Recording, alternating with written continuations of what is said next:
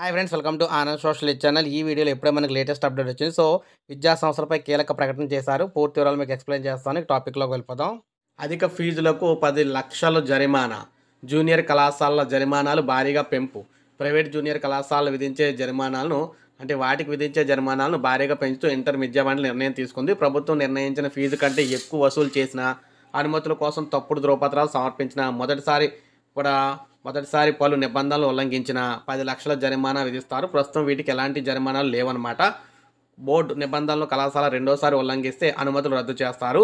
కళాశాల నిర్వహణకు ఒక చోట అనుమతి తీసుకొని అనుమతి లేకుండా వేరే చోట మారిస్తే ఇప్పటి వరకు యాభై వేలు జరిమానా ఉండేది దాన్ని రెండు లక్షల యాభై వేలకు పెంచనున్నారు. మండలం నుంచి మరో మండలానికి పురపాలక నగరపాలక సంస్థల పరిధిలోనికి అనుమతి లేకుండా కళాశాలను మారిస్తే ప్రస్తుతం లక్ష జరిమానా ఉండగా దీన్ని ఐదు లక్షలకైతే పెంచారు. మహిళా కళాశాలను కో ఎడ్యుకేషన్గా మారిస్తే ఇప్పటి వరకు లక్ష జరిమానా విధిస్తుండగా దీన్ని రెండు లక్షలకు పెంచారు. రిజర్వేషన్ పాటించకపోతే లక్ష జరిమానా విధిస్తారు. మంజూరు చేసిన సీట్ల కంటే ఎక్కువ మందికి ప్రవేశాలు కల్పిస్తే ఏ ఒక్క అభ్యర్థికి అంటే ఒక్కో విద్యార్థికి కూడా ఐదు వేలు చొప్పున బోర్డుకు చెల్లించాలి. విద్యార్థుల నుంచి ఫీజులు డొనేషన్లు నగదు రూపంలో వసూలు చేస్తే ఇప్పటి వరకు లక్ష జరిమానా ఉండగా దీన్ని ఐదు లక్షలకైతే నిర్ణయించారన్నమాట. సో చూశారు కదా ఈ విధంగా ఆంధ్రప్రదేశ్లో ఈ జూనియర్ కాలేజీలకు సంబంధించి భారీగా అయితే ఇక్కడ జరిమానాలు విధించడం జరిగింది. సో ఇది ఫ్రెండ్స్ ఈ వీడియో. ఇది లైక్ చేయండి సబ్స్క్రైబ్ చేసుకోకపోతే మన ఛానల్ సబ్స్క్రైబ్ చేసుకోండి.